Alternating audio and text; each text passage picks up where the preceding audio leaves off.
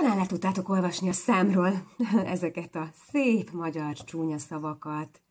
Sziasztok, Jánbor Eszter vagyok, én csinálom a sexually.hu szexismeretterjesztő blogot, a hozzá kapcsolódó Instagramot és ezt a YouTube csatornát.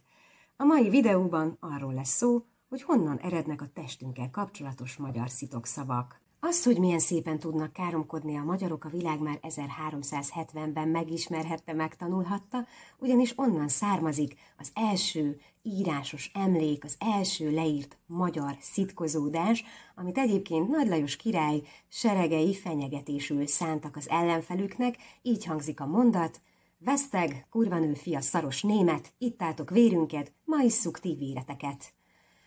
Egyébként később sem ijedtek meg a nagy elődeink attól, hogy káromkodást, vagy pontosabban szitokszavakat használjanak. Egyébként hivatalosan a káromkodást csak az Isten káromlása lehetne használni, az összes többi csúnya szó az mind szitokszó.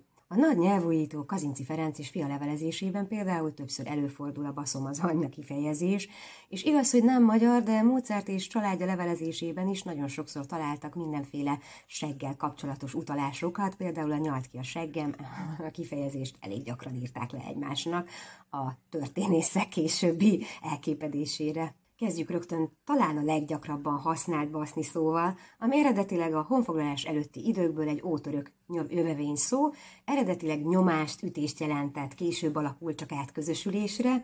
Igazából a boszorkány szavunk is innen származik. A boszorkány azt jelentette, hogy akit megnyomott a gonosz szellem. Egyébként ez az igénk az, amelyik szinten minden igekötővel működik, megbasz, szétbasz, kibasz, lebasz, felbasz, Próbáljátok ki, tényleg mindegyikkel működik. Sajnos a pináról és a faszról nagyon keveset tudunk, legalábbis a szavak eredetéről. A pinának a fanszörzethez lehet valahogy köze, a fanszörzet pedig a fon szóból eredhet, egyszerűen azért, mert a nemi szőrzet olyan kis fonásszerű volt, és ezért adhatták neki ezt a nevet.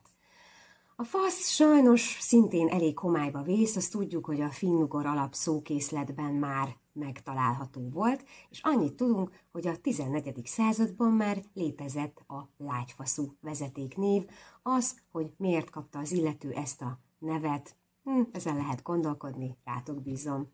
Biztos tapasztaltátok azt, hogyha más kelet-európai országban jártatok, hogy a kurvaszót bizony sok helyen megértik.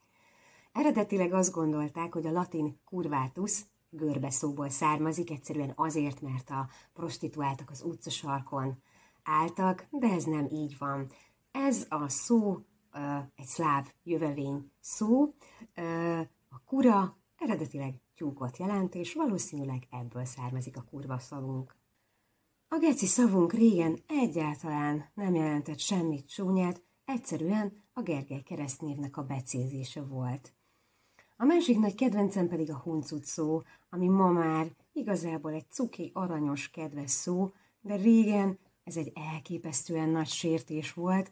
Egyébként ez a német Hundsfott szóból származik, ami kutyapicsát jelentett, vagyis hogyha valakire ezt használták, az egy nagyon degradáló, nagyon sértő kifejezés volt.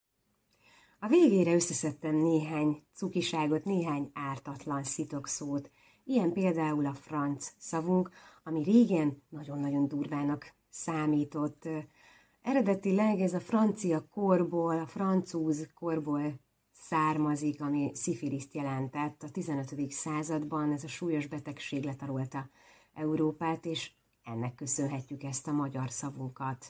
Azt, hogy honnan szedtem ezeket, a forrásokat a videó alatt megtalálhatjátok. Köszönöm szépen, hogy itt voltatok és meghallgattatok. Nézzétek meg a többi YouTube csatorna videót, és kövessetek Instagramon is.